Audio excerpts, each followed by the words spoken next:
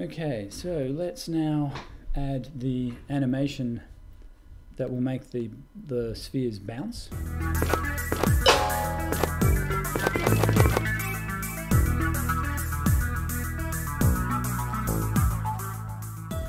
Okay, so they're going to bounce when the mouse clicks on them, and we'll have to set up a cursor to change the uh, the way, basically so that the mouse can click on them and create these events. Okay, so animation time, animations. Now animations are fun in mix in uh, A-frame. Basically, because we want to make it bounce, we want it to go up and then come down. Animations tend to go one way, so you actually have to, on the mix-in, we're going to have two animations described on the one mix-in, one for the up path and the other for the down path.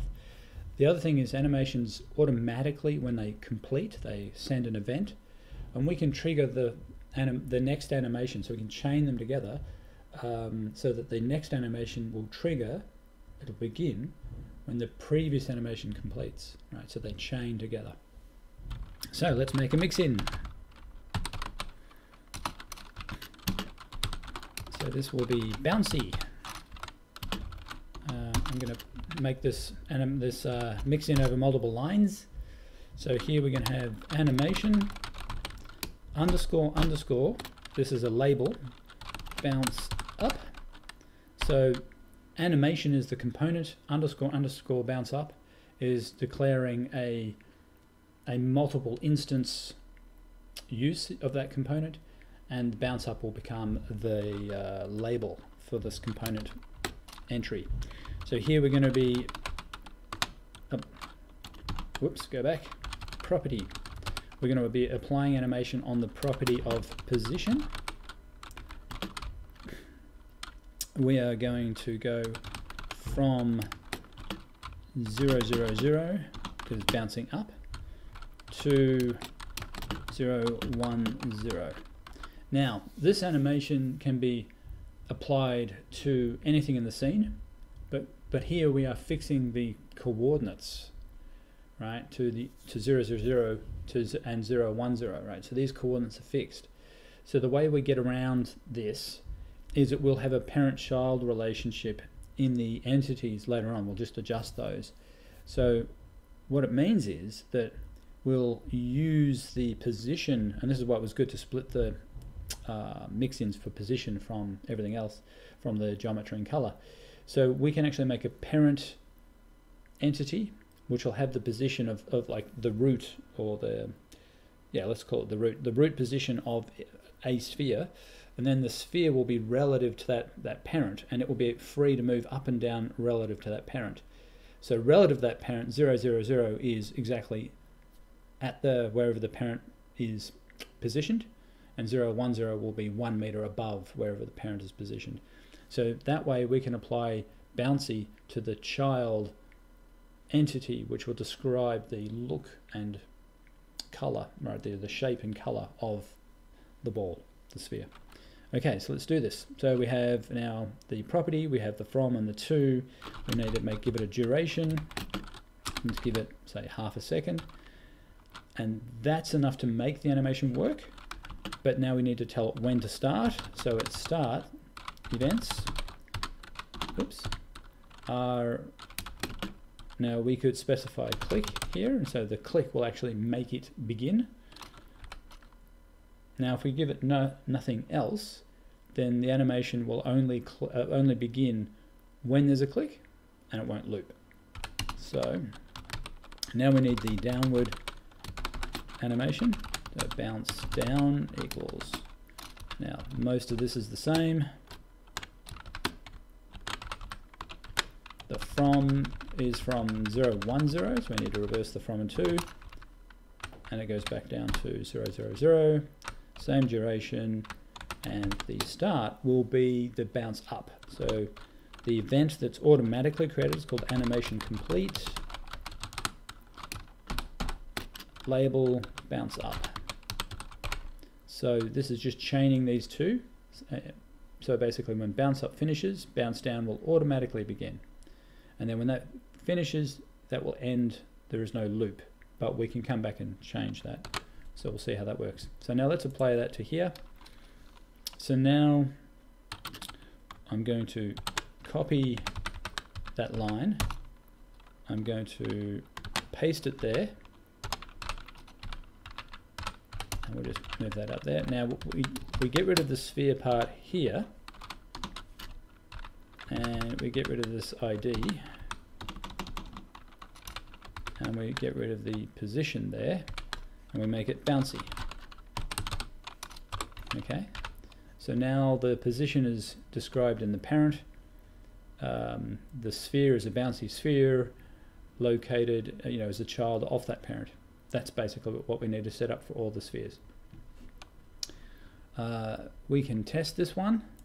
So we need to add another entity, which will be the cursor.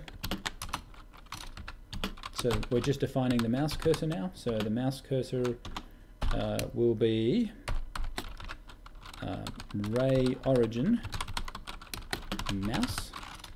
So what it means is as the moose, ugh, moose, the moose, no, the mouse moves around the screen, um, when you click, or just the fact that there's a mouse moving on the screen, the mouse will have a ray, like a laser beam, pointing forward through the camera.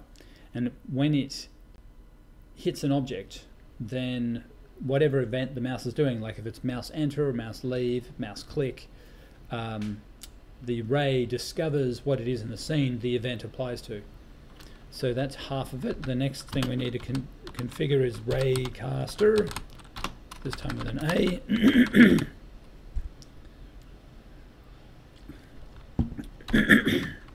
and we can give the raycaster component some filtering. So objects, ugh, objects, and we can say only look for things that have geometry. Okay. Now we should be able to reload that scene and we should be able to make the far left sphere bounce, but none of the others. So let's see that that works. Reload, I'll move it back. So we haven't changed the camera in any other way, so we haven't, set, we haven't used the rig yet. Now we can see that anything that has geometry is clickable and the mouse has gone from the hand to the, the, finger, the click finger, which is like you know a link in a web page. So if I click this one or this one, nothing happens. Click this one, it bounces up, comes down and stops. Okay, doesn't continue. So if we want that to continue forever, then we just need to, this is start events, it's a list. So we just need to add to this list that when the animation, wow, bounce down needs an E. Glad I found that. Um, when bounce down is complete, then we want the bounce up to start again. So it can be either the click or the, the um, bounce down finishing that makes it go up automatically. So that way it'll just keep looping. Once triggered, it'll just keep going. Animation complete, bounce down. Okay, so if we save that, reload, move back. So again, these other ones do nothing, mid does nothing, far left. Hey. Uh, it's funny. Animation complete. Ah, two underscores. That's what's wrong. Try that again. The two underscores are important. They separate the the well, they basically uh, say where the label will be. So because I only had one underscore, it, it just wasn't right. So this should continue forever, yes, and the others still don't do anything. So there we are, the bouncy is indeed bouncy. Now you might say it doesn't look very natural as a bounce, and that'll be the easing. So we could change the easing value, but I'm not going to bother. Uh, let's just focus on setting up all our events. So,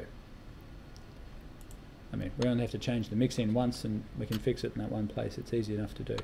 So I'm going to do the same thing. I copy the line, spread that over to make it um, over multiple lines, space it out a bit, get rid of the ID, because that needs to be unique, get rid of the position, replace this with bouncy, and get rid of the sphere here. Okay, so that's your mid. Do the same thing here, copy that down, paste it in, space it out, get rid of the ID, get rid of position, add bouncy, get rid of the sphere, and that's that one. And copy. This is the last one.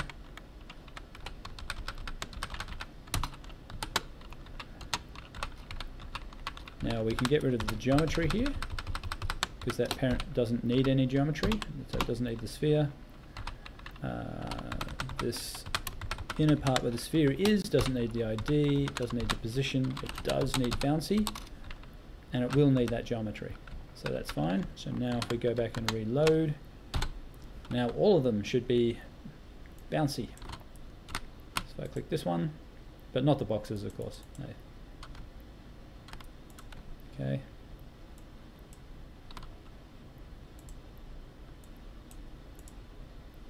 Neat. Okay, so the next thing to set up is, uh, let's see, well we can do the camera rig. So a entity. Okay, so we need, whoops, go inside there. Um, give it an ID of camera rig. Then in here we need to give it a camera. Uh, we should now we had a camera pause, so mix in, so I should apply that cam pos, there we are. Okay, so mix in, ah, first of all, this is the rig, so let's you what, the mixin still applies because that was for the cam pos. That was for the actual entity once it is um, so the actual camera rig itself was going to have that initial position. Okay, so now a yes enter T. This is the one that's the camera. Did I? Nope. Uh, what? What? Yes. Okay. Camera. So I thought I'd cut the camera bit out, but I didn't. So I'm just undoing that. Okay. So let's just put a bit of space around this and make obvious what's going on here. So this is the camera and cursor config. Okay, now, so this is enough to make a camera in the scene and to put it inside the camera rig. The only thing is, uh, if we do this, there's no look control, so I can't move. In fact, let's just see it. Okay, so if I do this, now I can't drag the mouse around. I can still click on things, because that's the cursor, but I can't, you know, look around and so that's not helpful. Okay, so we want a uh, look a look controls look hyphen controls. Now if I save that, reload, now I can look around. That's good. And the other thing is we wanted that offset. So position equals 0, 0, 4. So it's set back. There we go. So now I can see the entire scene and I can look around. So that's useful. But we can't move. There's no WASD because we didn't add that component. All right, now we are fully ready to begin adding some JavaScript and defining um, you know, which of these objects are targets to move the camera rig to, right, to those targets. So there's a couple of different ways we're going to do that. Uh, if you like this video, please like it. That helps a lot. Uh, feel free to subscribe.